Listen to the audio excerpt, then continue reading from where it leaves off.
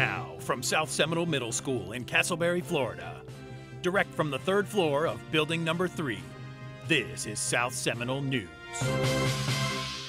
Good morning, Hurricanes. Happy Thursday. I'm Jenna. And I'm Haley. It's December 20th, 2018. Please stand for the pledge. I pledge allegiance to the flag of the United States of America and to the republic for which it stands, one nation, under God, indivisible, with liberty and justice for all. Today we will continue with our fire safety and how we should res- respond to certain situations. Yesterday we discussed electrical and fire safety tips. Today we will discuss safety in the kitchen. Cooking and baking can be fun in the kitchen, but it can also be very dangerous.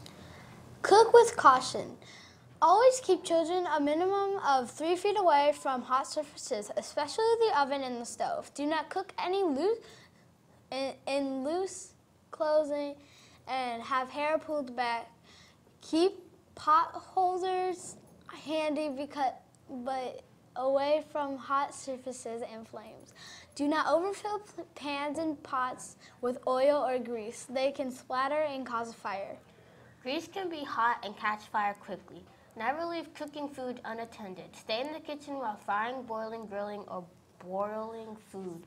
Keep combustibles away from a hot stove or oven, such as paper towels and dishcloths. They can catch on fire too.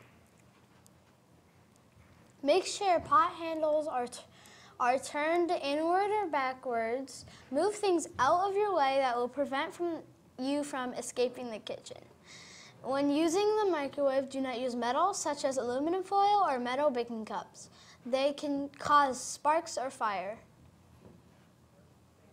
If a fire starts in the kitchen, act fast. If fire starts in the stove, turn it off and keep the door closed. It cuts off the oxygen. If a fire starts in the frying pan, put a lid on it. Move the pan off the burner and turn the stove off. The flames in the pan will stop due to lack of oxygen. Do not use water or flour to put out, put out a grease fire. Either cover the pan with a lid, throw lots of salt or baking soda on it, or use a wet towel to smo- smother the fire.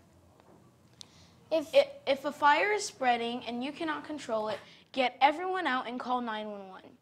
Always check the kitchen to make sure all small appliances, stove, and oven are off before leaving the house or going to bed. Keep a smoke detector near the kitchen.